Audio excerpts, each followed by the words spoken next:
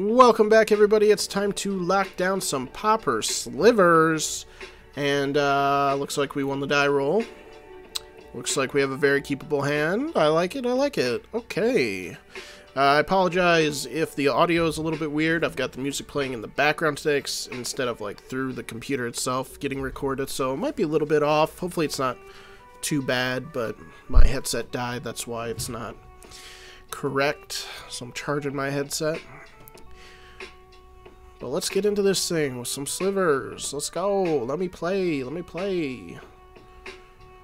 What are you doing, Overed?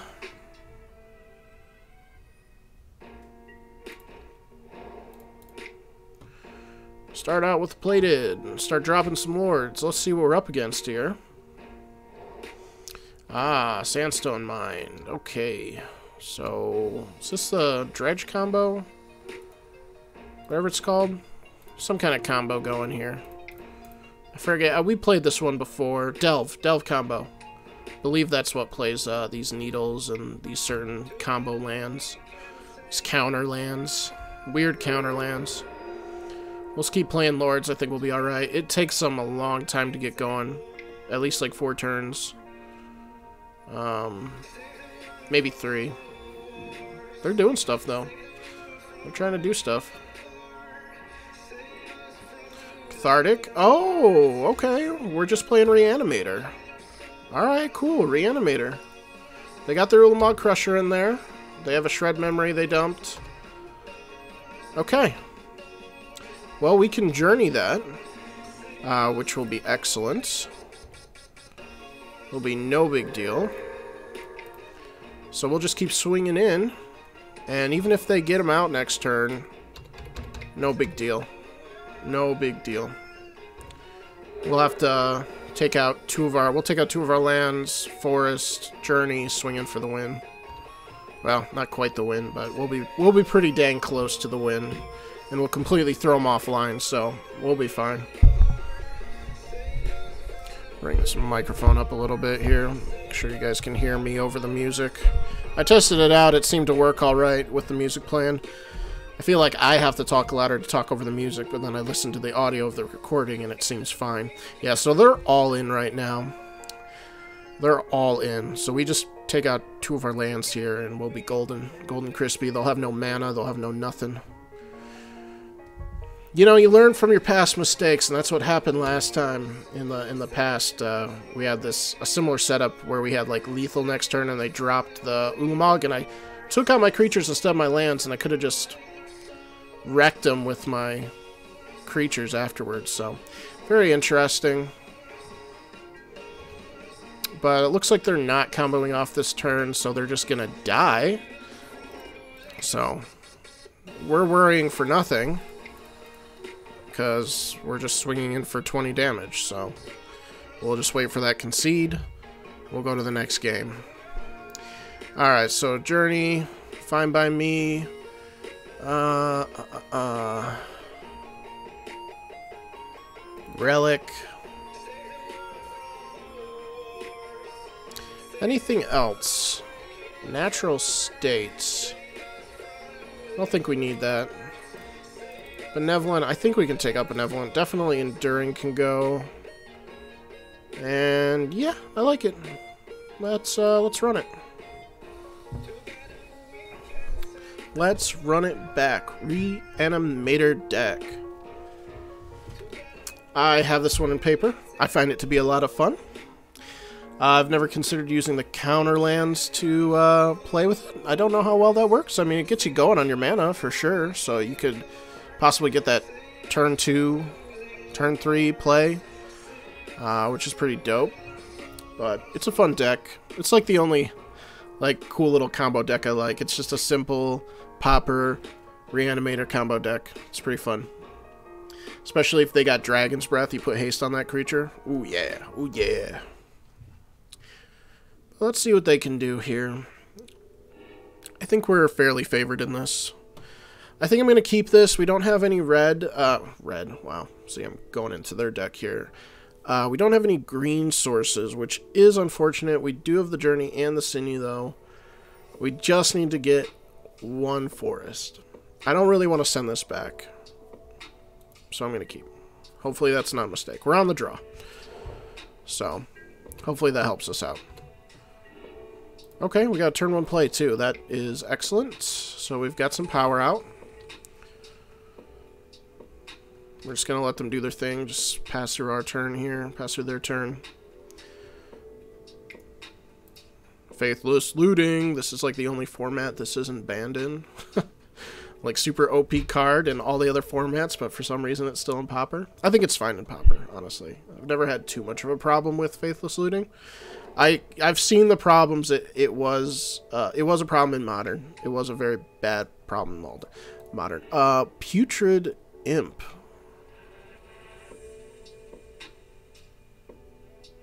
Gets a plus one, plus one, and can't block if there's seven more cards in your graveyard. Okay, bro. Oh, we got our land. How nice. How nice.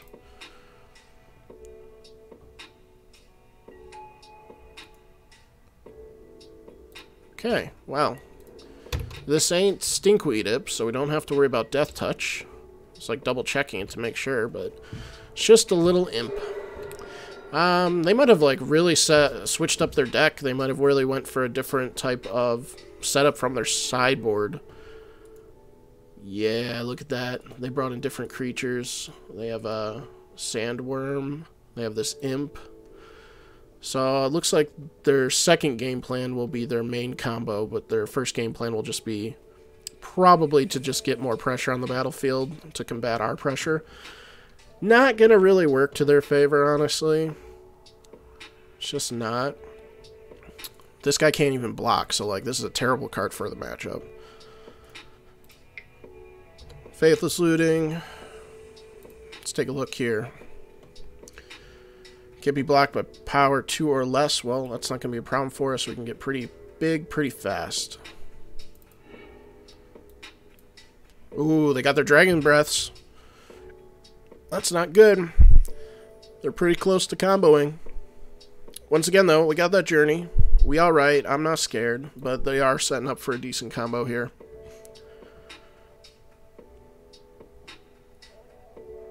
No removal.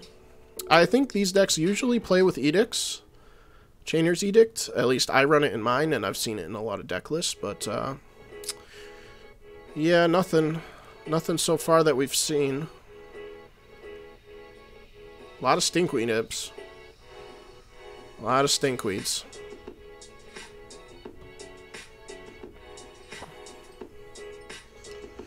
So I think I did a misplay last turn. I think the best play would have been to play this Muscle Sliver. Play the Muscle Sliver, that way on this turn, we can put this Plains down, play our Sinew, hold up protection with Vines. I'm not super worried about it, but like, yeah, that's a little bit of a problem. So they went Gurmag. Looks like it's going to get some haste. See if they want to attack in. They may not. They may be getting scared. Turning down my music a little bit. It's so loud. Do it. Attack in, please. Yes. Okay. Cool. I will take five all day. I'm swinging back for more. Okay, we got a plated, so that's not bad. I'm not gonna deal with this guy yet. If we need to next turn, we will. But there's no point right now. Swing for six. We're, we're winning the race, so it's not a big deal. Have him at 12. We have a Winding Way. We got a Vines. We got a Journey. We're set up pretty nicely here to win.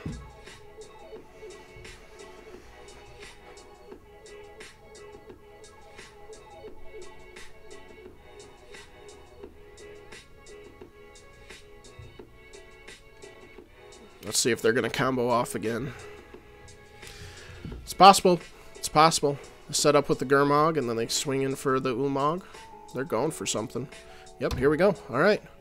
So they'll get the Ulamog's Crusher. They will get Dragon's Breath. Um, so looks like we uh, will have to annihilate two things. we will... We'll, uh, we'll see what happens here. They're attacking in for 10, Annihilator 2. We're gonna journey the Gurmag. Where are we?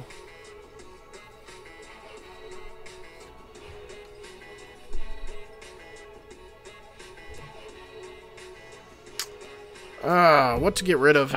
Alright, we'll definitely get rid of a Plains. And a plated? I guess that's our best bet.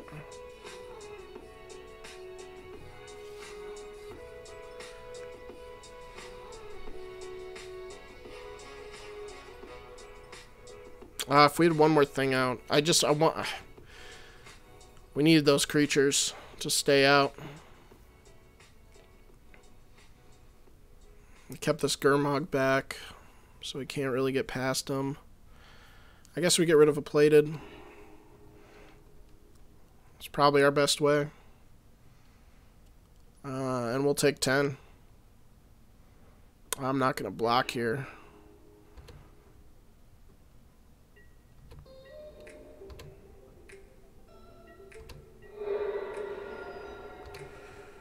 Go to five.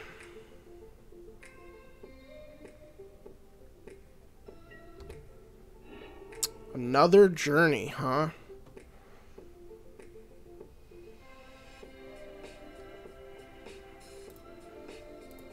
I think we have to journey the Ulamog's Crusher. Uh, we don't have lethal anymore. Uh, so we have to look out for our future turns, and we can at least chump block the Gurmag Angler and then journey him if we need to.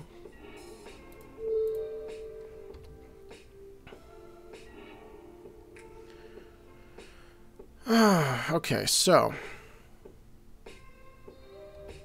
let's go ahead and just pass. We are on a clock, though, because they have the Putrid Imp that they can give flying to if they discard a card. So they may do that just to get in for two damage.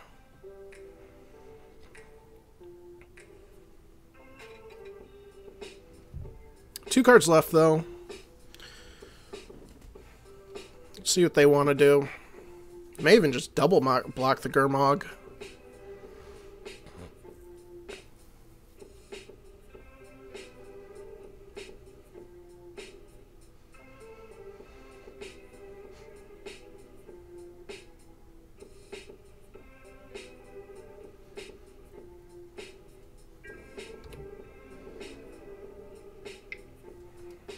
Okay, so they're just doing the Putrid Imp.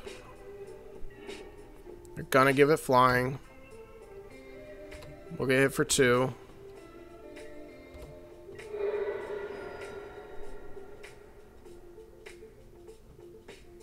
I would love to get a relic. Make sure they can't get any more craziness.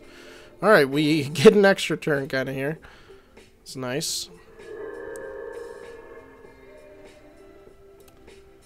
And we can set up for Vine's kicker next turn as well.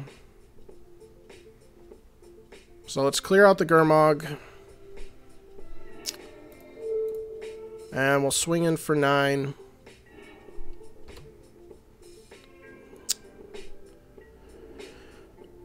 Hmm, let's think.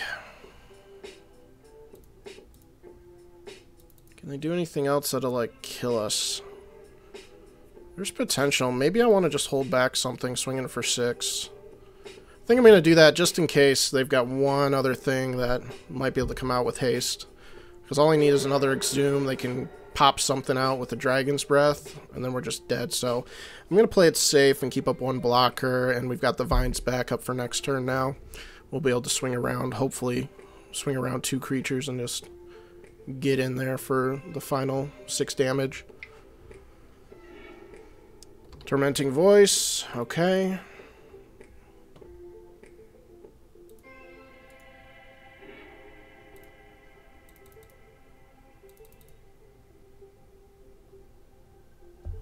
Uh, but if they don't have an answer here either, then you know, it is what it is.